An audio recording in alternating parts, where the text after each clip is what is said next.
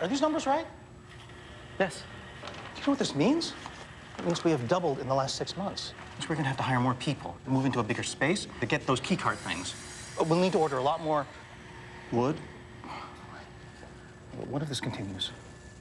David, isn't that kind of the idea?